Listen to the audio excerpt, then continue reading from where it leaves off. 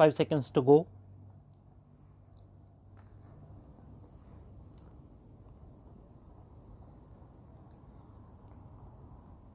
Start.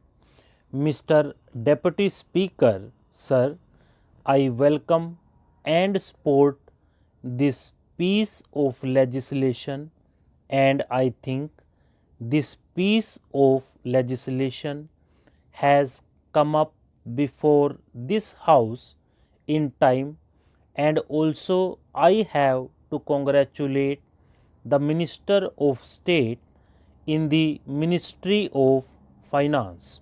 Sir, some time back we were discussing about the facilities to be afforded to the members of parliament and how they have to be encouraged to function properly in this house. I feel now that this is a very important piece of legislation. I also agree with many of the points which have been included in this bill, but some members have not availed of the facility of going through this bill and that may be one of the reasons why they are not taking that much of interest or unable to take that much of interest in this legislation. To me, this piece of legislation comes in the way of the black money in this country. The Customs Tariff Act of 1934 as amended subsequently and now in the name of Customs Tariff Bill is nothing but a protection that is being given to the indigenous industries and indigenous products that are produced in this country. But at the same time, this is going to stop the smugglers curtailing the black money and putting an end to this black bank as explained. Sir, the honorable member has also said that though we say so many things about these smugglers and the control of the antisocial elements who are bringing in smuggled goods into this country, the question is how far the action taken by the government will prove efficient. Sir, during the earlier period, this bill should be given importance and topmost priority. Now, we have read in the newspapers that a number of smugglers were arrested and who were solely responsible for bringing in smuggled goods into this country. The bill puts a heavy tariff so that these things are not imported into this country and indigenous production of these items may be encouraged.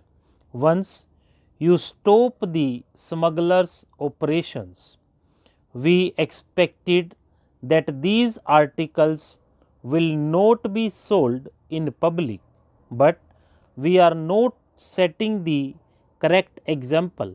I would request the Honorable Finance Minister to see that the possession of foreign articles should be questioned if they are not able to give proper account, high tariff duty should be levied on them.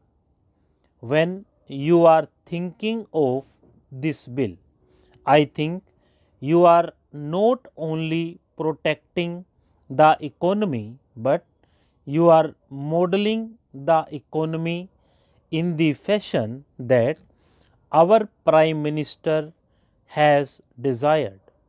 The Prime Minister had said that we will have an economy where the gap between the rich and the poor will be narrowed. These people have what may be called a black bank. Whatever measures you may bring in, they have a loophole, and through that loophole, they bring money in this country. The law is that money can be sent from abroad through Reserve Bank only.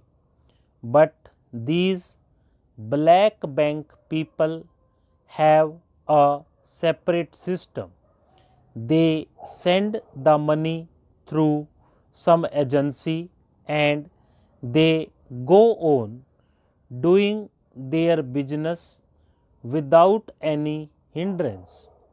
This is due to the fact that the officials of the customs department are not properly implementing the legislation that is already in vogue in this country.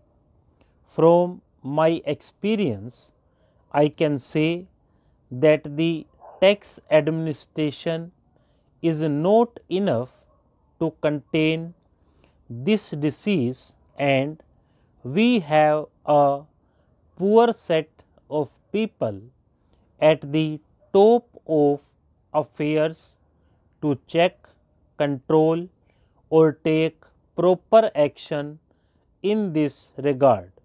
Whenever people come from other countries, they bring in some articles from other countries, but these customs officials harass only those people who are very poor for the simple reason that they demand certain things from them.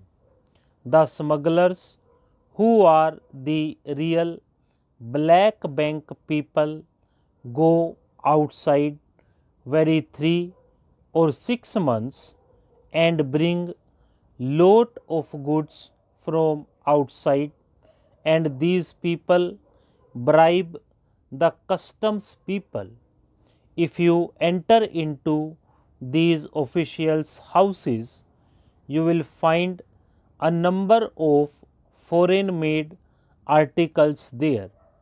That is the reason why we failed to enforce the legislation.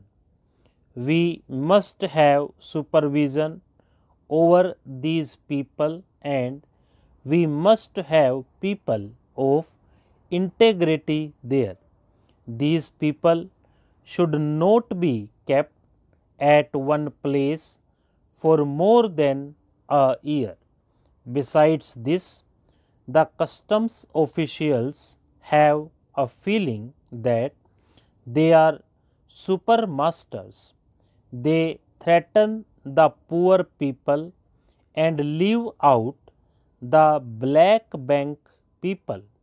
They leave the monsters and allow them to grow as big as possible because you know this illegal gratification has become legal gratification as far as this bill is concerned. We may defend it. I am sure the Honorable Minister is bound to defend his staff. It is a fact, but in this parliament we have to tell the truth. It is a known fact how these customs authorities function. If a minister or his relation is coming from outside, there is no regulation. If a member of parliament is coming, there may not be that much checking. Stop.